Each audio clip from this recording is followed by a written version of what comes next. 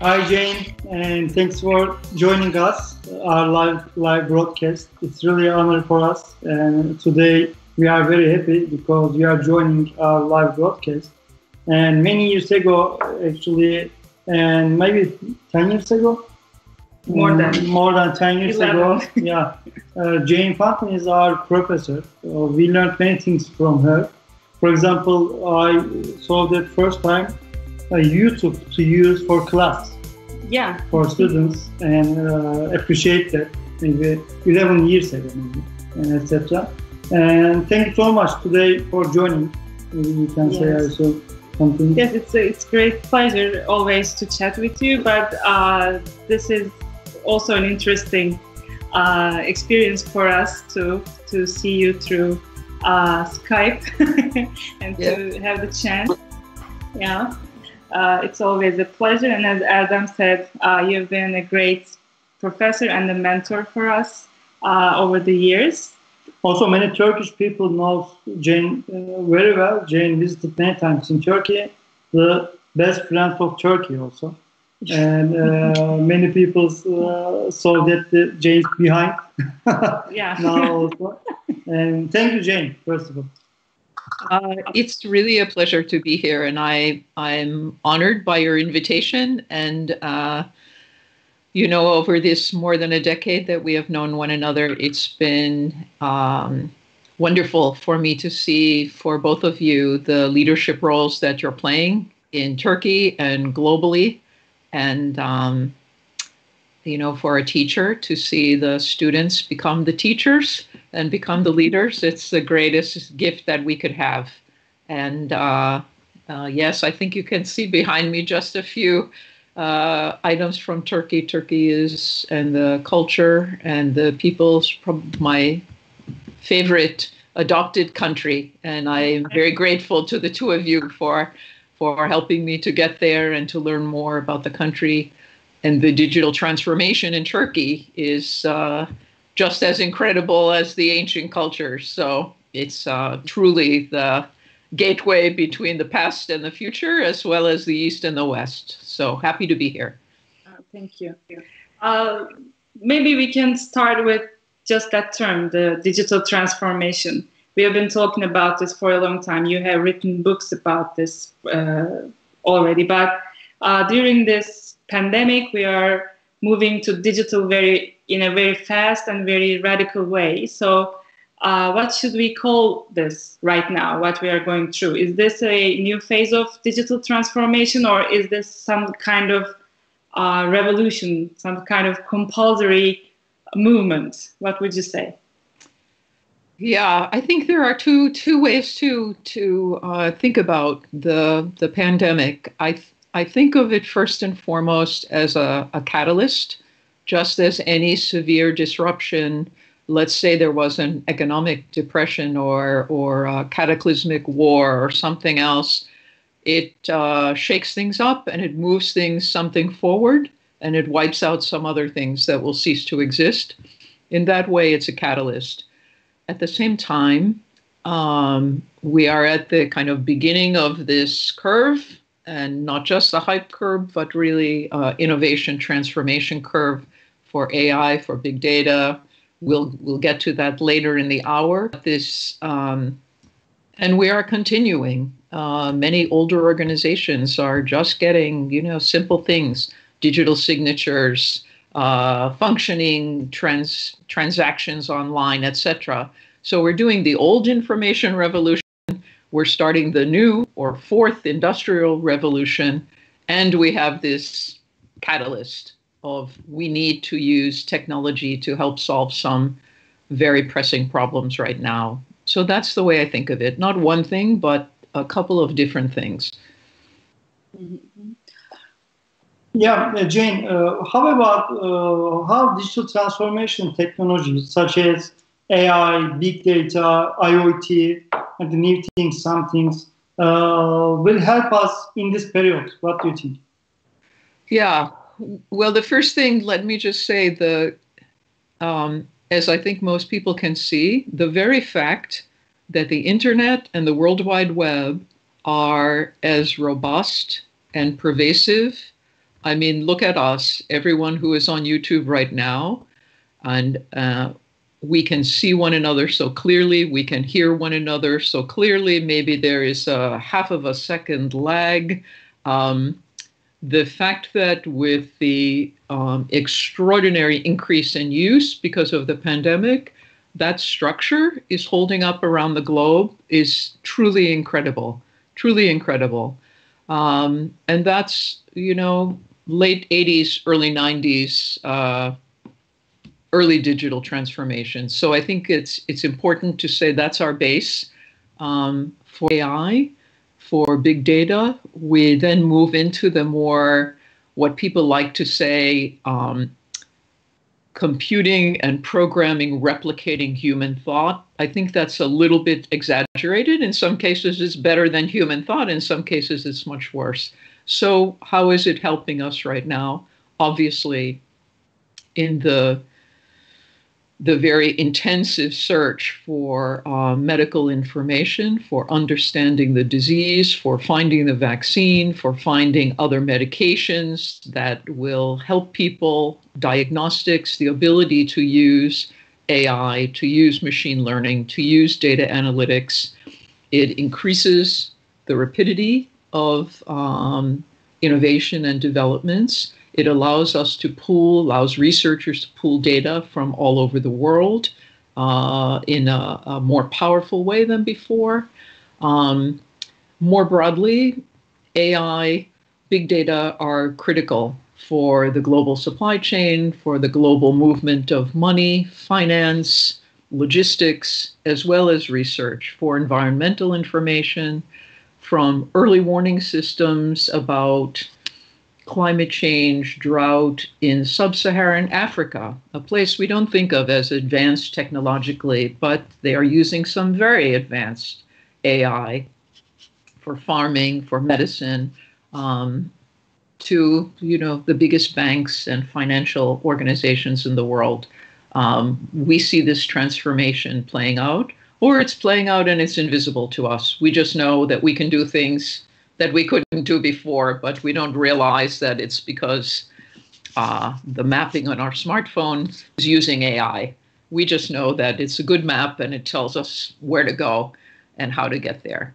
Um, so there's a, a, a, tremendous amount going on. I will say that smaller and medium sized firms, uh, we had a symposium in Toronto, Canada in January on national strategies for AI and actually the head of Microsoft public sector for Canada, a former civil servant, was there, and he was talking about how the uptake, the adoption, the transformation process for smaller and medium firms, medium-sized firms, is taking longer.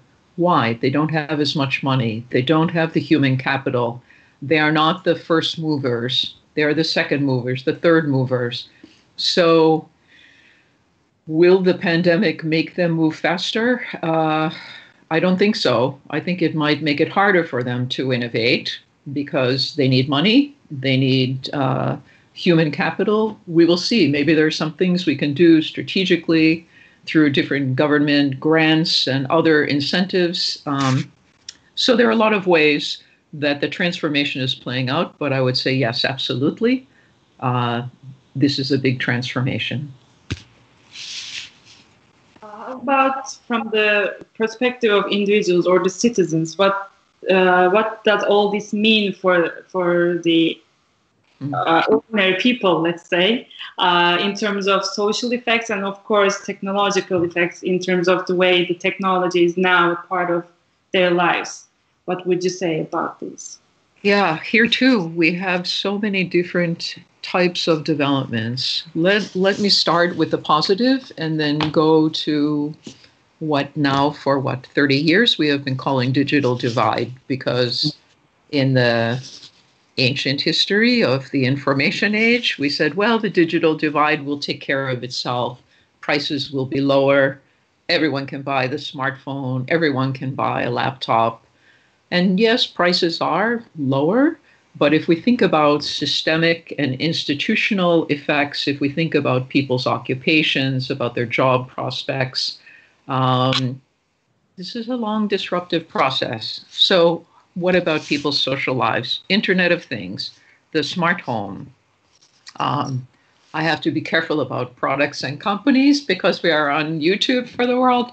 I don't have a Siri in my home or anything like it. I don't want it to be listening to me. I, but this raises the general issue of, uh, I guess you could say, to what extent do we want to trade off some privacy for convenience, privacy for having a digital assistant that knows everything about us, where we're going, that's going to help us, who's getting the data. These are these are important issues. Uh, what do we do with that data? Who who owns that data? If it's your personal data, is it really your personal data? Um, I think these are big national, international conversations to have. At the same time, these things make our lives so much more convenient and organizationally. Just yesterday, I was working with one of my colleagues who this year he's in Washington, he's in the Congress, he is working on a congressional committee. They are trying to figure out how we get hundreds of billions of dollars to the people who need it. They are finding when you take this money and you put it into old state and local government IT systems and old bureaucratic systems that just don't have the capacity to handle this kind of volume, it's a problem. And we're not going to just throw money at people, obviously. We can't just send checks through the mail. So we're thinking about legislation that will, as part of the response, as part of the uh, relief and helping people, will also give money to state and local smaller governments to upgrade their systems. Uh, because I think we know uh, if we don't do that, they can't upgrade their systems. So this is kind of inside baseball. But for the average individual, um, people are having neighborhood meetings online with their neighbors because they can't get together. People are having birthday parties with the family because they can't get together. The grandparents are visiting with the children online. Some of that was happening, but I think because of the, the pandemic, again, it's a catalyst for more people to jump onto these kinds of online engagements. And then they find, oh, okay, it's not so hard and it's not so bad. I actually see my my colleagues, my friends, my and we had a good conversation and we got work done. So whether it's in the workplace or in the social life, um, there are of course tremendous benefits. Um, we don't want people to be left behind in all of this, and um, these people are often invisible. One of the things we see in the U.S. Uh, many of us can stay at home and do our work at home. Uh, but there are people who have to go into crowded places, not just healthcare workers, but other people. We are having the news right now in the US people in meat processing plants. They work very close together. They are getting sick. Um, what can technology do for them? Well, certainly diagnostics to see when someone is sick, to isolate them from other workers there are a lot of things that could be done. But uh, interestingly, ironically, for this pandemic, you know, the we knew these answers hundreds of years ago: isolation, quarantine, social distance. It's not high tech; it's low tech. But we can combine that with some very high tech um, parts of solutions. So there are many ways that this these technological changes in the midst of this pandemic are changing individual lives.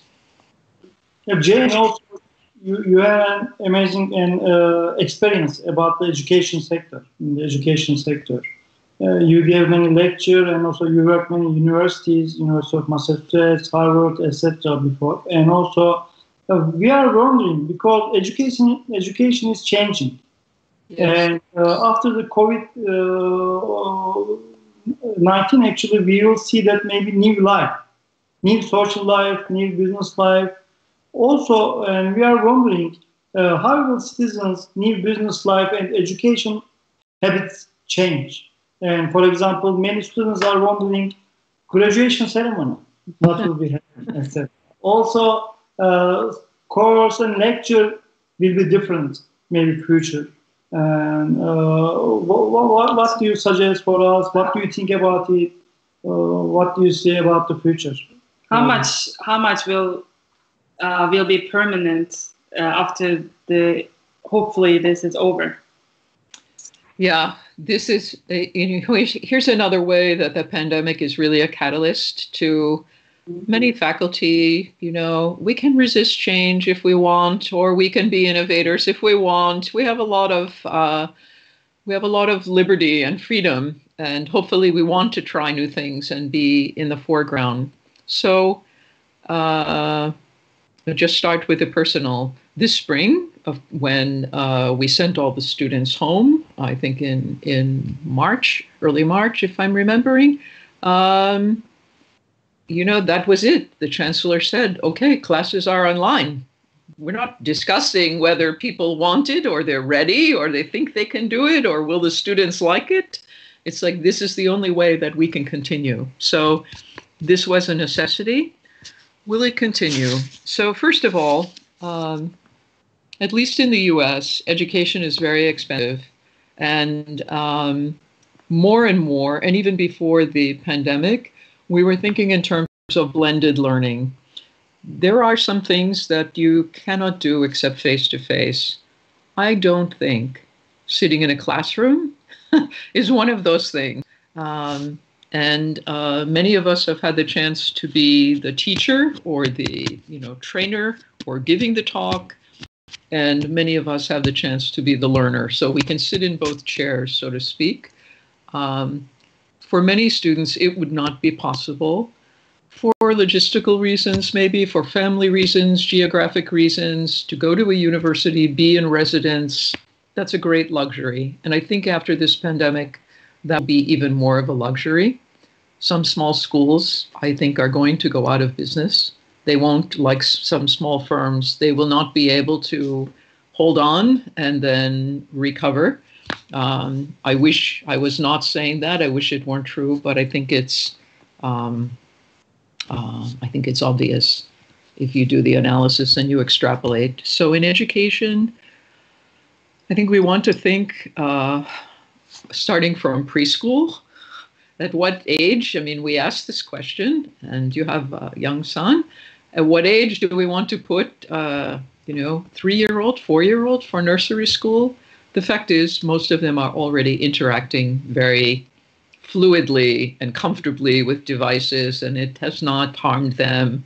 They are still interacting with humans, and they have friends. And um, for something like a graduation, uh, this is hard because this is uh, you know lots of hugging and your family and multiple generations are there we are doing it uh, university of massachusetts virtual graduation this year.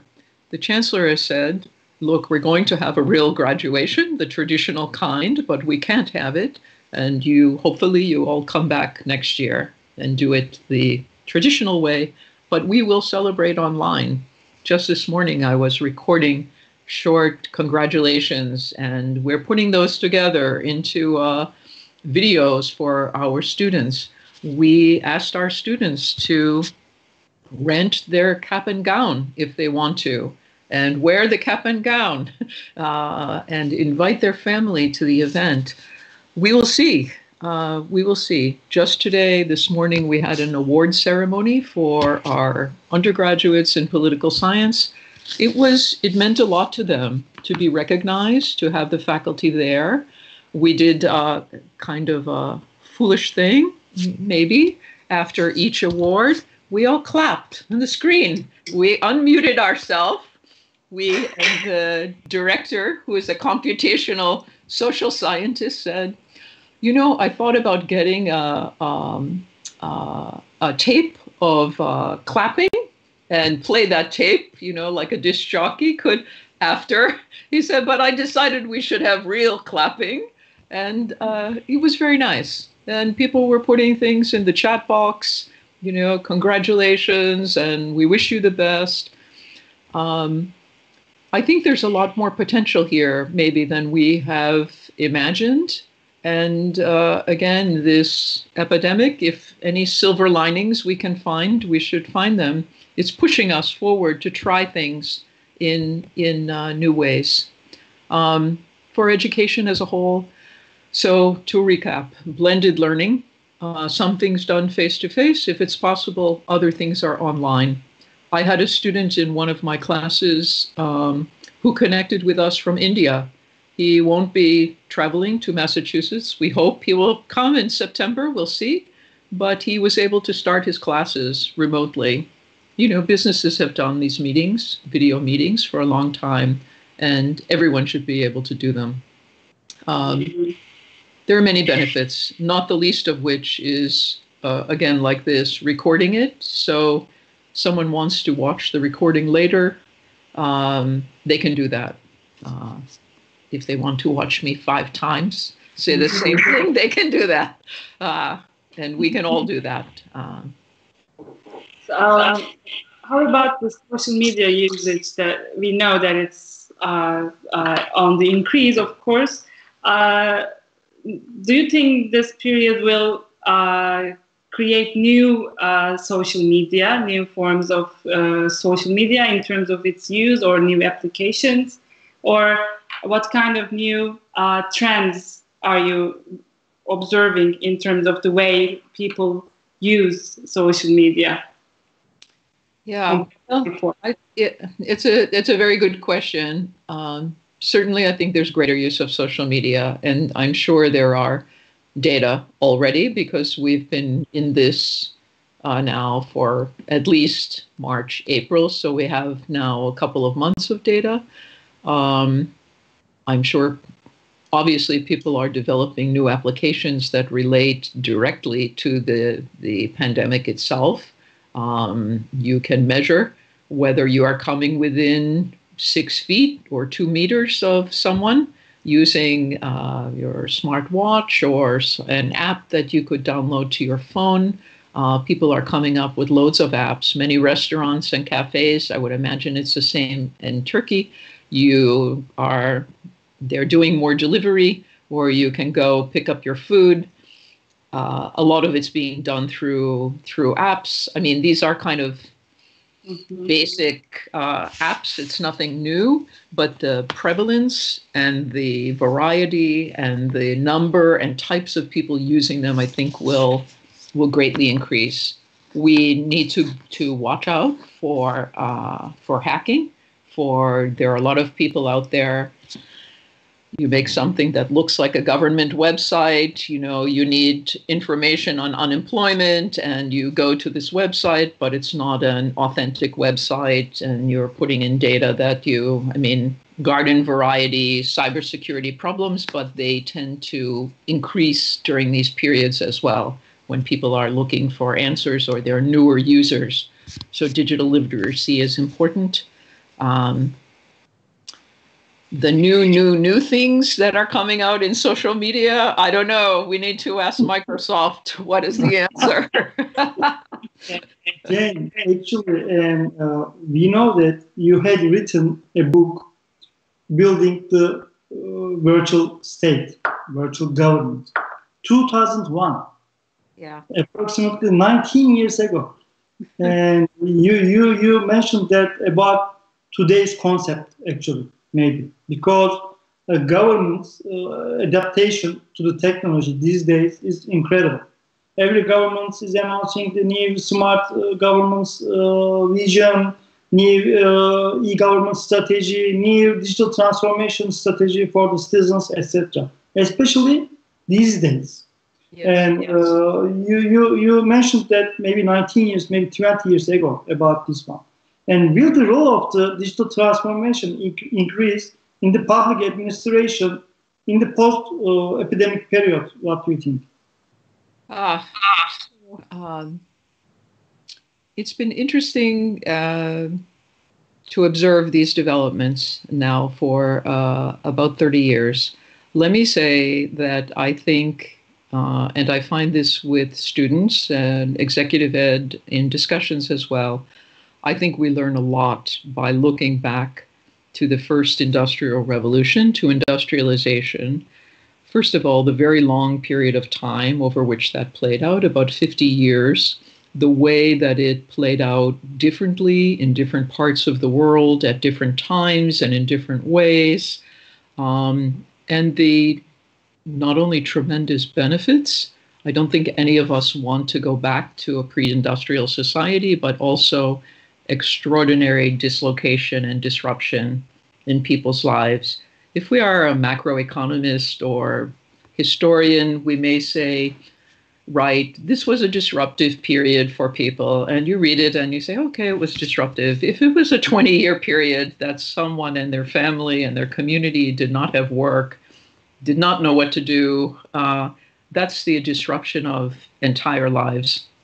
Um, I think knowing that we can do better in this period. Um, how does PA change? Um, I don't think there are any government civil servants left or public managers saying, you know, no, I'm not interested in technology. We had that discussion in the 90s. Will people adopt? Won't they adopt? Um, forget it, that's over. Um, interestingly enough, uh, lots of professional schools, I think, still are not teaching their students enough about um, uh, the government of the future or even the government of the present. I taught a new course in the fall um, uh, called The Future of Government. And we looked, we spent the whole semester just looking at cutting edge examples um, in order to give students an idea of this is this is the state of the possible right now. So when you go to whatever town or state or region or country that you go back to to work, as a public manager, as a civil servant, you should know that this is what is possible. And then you can think about what is the path to, to get us there. Um, of course, public private partnerships are incredibly important. Tech leadership is going to remain in the private sector. That's where things move fastest, it's where the innovations come out fastest. But no one can understand really the intricacies of government as well as public administrators, if they are strong public administrators. So we really don't want to just say, no, go get a computer science degree and then become the town official because you might be good, you might not be good, but you will have a lot to learn about government and politics. Um, when we watch the variety of uh, digital governments and public administrations around the world, we see lots and lots of uh, different types of possibilities from the tremendous advances in Turkey um, that I had the privilege to learn about, to places like Estonia, to South Korea, um, obviously the big countries. Um, each country has its own path to follow, and uh, we're really fortunate to be able to compare across countries, across regions. Um, there's a lot of work to be done, a lot of work to be done.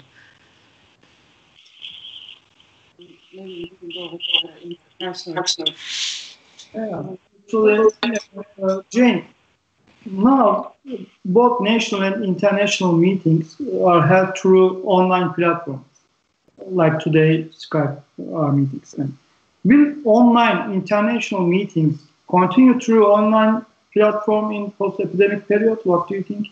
Mostly. You know, this is a is another yet another interesting area. So these are these are really wonderful questions. Um, if you if you think about, uh, I, I, do not think that the the amount of uh, business travel to various conferences will come back to the same level. For one thing, if yes, we are all thinking about the pandemic, but at the same time, we want to be thinking about climate change. When you really look at the the cost, not just the cost of your plane ticket, but the cost of the fuel of having planes, you know, going everywhere. I love them. I love flying, especially Turkish Airlines. Big shout out. uh, I should show you my plane. It's in the office here somewhere. Thank you.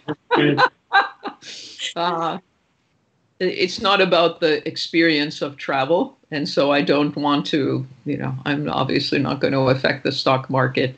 I think that companies, universities, individuals will be asking themselves, do I need to physically travel to this meeting? Imagine if every international conference, and I don't know why we've, well, I do know why. Why haven't we been videotaping all of the talks at all of those conferences? Um, one reason, of course, is you pay a fee to go to the conference uh, to hear the talks. Uh, maybe you can still have a fee for those talks. Um, let me say this. If someone goes to a meeting, another country, another region, they travel to get there, um, they stay in a hotel. Yes, there's a cost to that. There's a risk to that if there's a pandemic it's not just the uh, sessions, the panels, the talks that they will go to that will be informative, maybe transformative, but mm-hmm. during the coffee break, they're going to meet people they never met before. They're going to have conversations they would not otherwise have had. Why? Because you're mixing people in a, a new and different way. Maybe they're going to go to uh, a dinner or lunch with people they haven't talked to before and it's in those more informal spaces at these meetings where trust is built, where people learn a little bit more about maybe another organization or another country or another culture or another person, and the social capital that is built through those interactions. That is harder to build online. Although I have to say, just experiencing really the, the the quality of our interaction we already have social capital we know each other. I think there's probably potential there that we have not appreciated. And maybe the the research and results of global teams could tell us a lot about that potential. So i think the being able to hear lectures hear panels online yes we can certainly do that um, but some of the experiences, mentoring, introductions to people you might not have met, the really the social part is is something we should think about uh, if we're going to have an online meeting. How can we accomplish that? Well, last week, I got an invitation um, from someone. They are organizing a, a virtual summit. Mm. Uh, also, uh, they are giving the networking area. They are giving the lunchtime. They are giving the networking, one-on-one meeting. They are organizing everything. Like uh, it's really interesting. And only, for example, the one ticket around five uh, hundred dollars.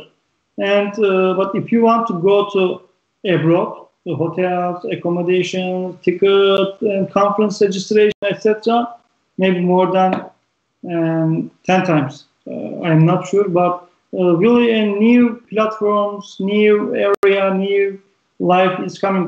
It, it seems uh, we will see that.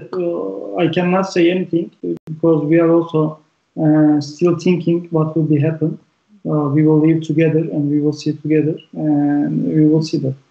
Jane, thank you so much. I really appreciate that for your time. And uh, end of our and live broadcast, what do you uh, think or what do you uh, want to say for Turkish people, for world, etc., for citizens, for parents? Um, uh, we want to listen to you. Uh, so, uh, let me just say, um, you know, Turkey and many countries like Turkey have been around for thousands of years. They have seen everything, they have experienced everything. They have experienced much worse than this.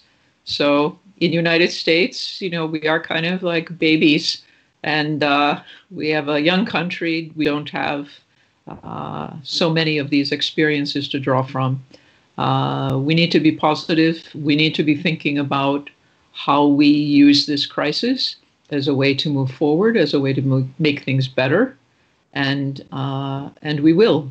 Um, when we are in the moment, it seems like it will never end. But of course, if we think about the broader sweep of history, yes, it will end before we we know it, and we will move forward. We will be stronger, and we will be smarter. And uh, technology will play a big part in this. So thank you for having me. I appreciate the opportunity to talk and to visit with old friends. thank you. Thank you. It's always great to chat with you. And as always, you are very optimist and also giving us your positive energy also tonight. Thank you very much. Be safe. It's a pleasure. Yes, stay safe. Take care. Bye bye.